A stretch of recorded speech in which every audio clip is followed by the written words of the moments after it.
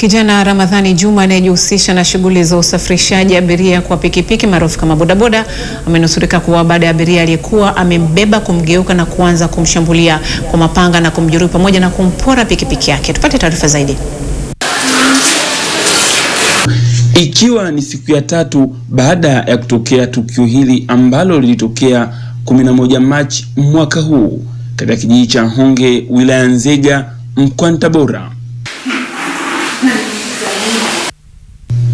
Ramadhani Juma akiwa anatibiwa katika hospitali ya wilaya ya Nzega anaeleza mkasa uliomkuta hadi kufanikiwa kujinasua mikononi mwa jambazi ambalo lililenga kupoteza uhai wake. Tukarudi nyuma tukakunja pale, kuna kona pale mkono wa kulia.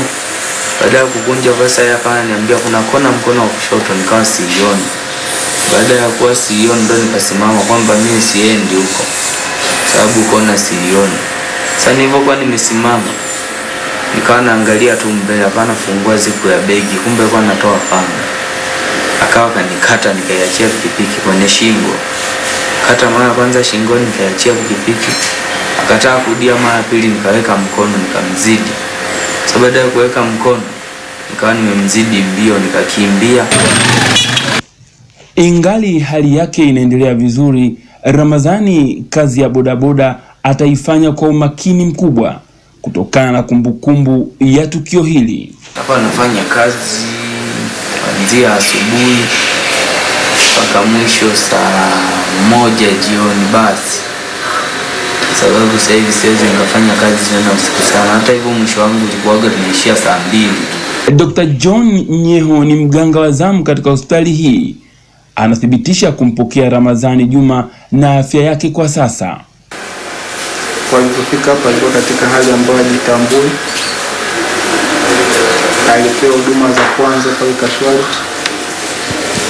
akashonwa kidonda, akafanyiwa zile management za kwanza za resuscitation na akaimprove, akawekwa kwenye dawa.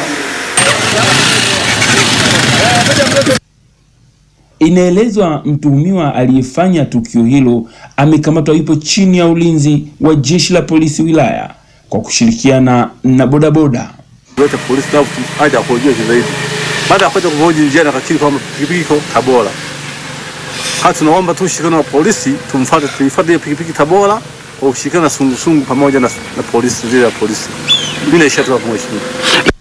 Jeshi la polisi linaendelea kutoa elimu ya usalama kwa kundi hili ambalo lipo katika hatari ya kufanyiwa uhalifu. Hawezi kufanikiwa pasipo nyinyi miongoni mwenu kuwepo huyo mtu ambaye anachora hizo raketi zote. Sasa niseme tu kwenu kwamba mkibaini mwenzenu yoyote japo anatambulika ana viashiria vya wiziwizi, tupeni hizo taarifa kisirisiri. Mustafa Kapalata, Star TV, Nzega, Tabora. Bofya kitufe cha subscribe kisha gusa alama ya kengele kupata taarifa za Star TV muda wote wakati wowote.